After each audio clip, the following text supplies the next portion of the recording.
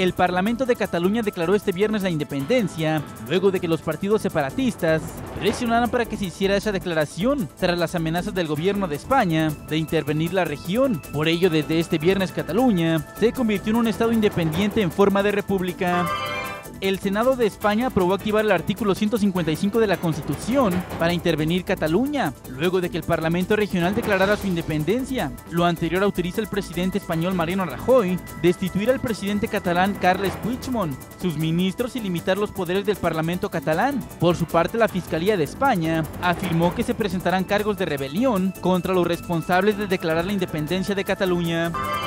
Este jueves fueron presentados los ocho prototipos del muro, encargado por el presidente de Estados Unidos Donald Trump para reforzar la frontera con México. En cada uno serán pruebas de resistencia, intentarán escalarlos y todas las formas que conocen para intentar cruzarlos. Y en 90 días se decidirá cuál es el que se ajusta a los objetivos, para determinar si usan uno de los muros, se combinan o no funciona ninguno. Cada uno de los prototipos mide más de 9 metros de alto y 2 metros de profundidad. Además contarán con paneles solares para alimentarlos y tecnología para detectar movimientos de tierra para evitar que se hagan túneles.